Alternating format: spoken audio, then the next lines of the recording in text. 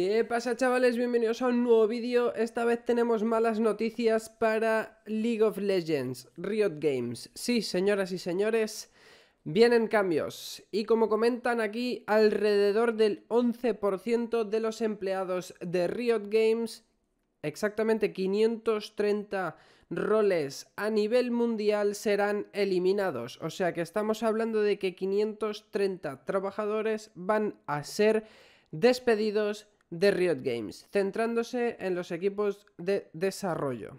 Veremos a ver, solo van a dejar a los que están trabajando en el desarrollo de los juegos que están actualmente vivos. Dicen aquí, Riot está dando prioridad a sus juegos principales. Juegos que están activos, como hemos comentado, League of Legends, Valorant, Teamfight Tactics y Wild Rift. También nos comentan que la integración de los deportes electrónicos se mantiene, la música y el entretenimiento con los juegos es parte de la estrategia mantenerlos.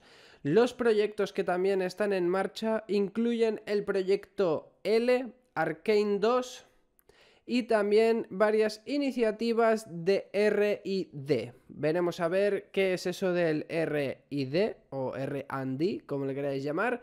League of Legends Runaterra está cambiando su enfoque hacia la sostenibilidad con énfasis de Path of the Champions. Veremos a ver estos cambios aquí al Runaterra cómo le afectan. Pero bueno, estamos viendo que están reestructurando a todo lo que es Riot Games. Se ve que Tencent tiene problemas económicos. Veremos a ver cómo acaba la cosa. También nos comentan que Riot Forge finalizará el desarrollo de nuevos juegos después del lanzamiento de Bundle Tale, a League of Legends of Story.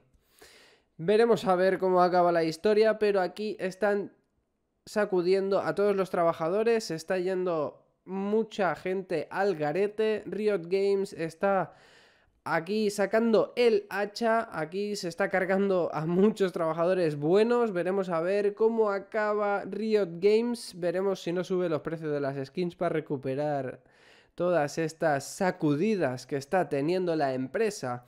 Así que nada gente, cuando tengamos más noticias ya sabéis, os lo voy a traer, así que veremos a ver cómo depara el futuro de este juego, a ver si no se muere. Nos vemos en el siguiente vídeo, chao.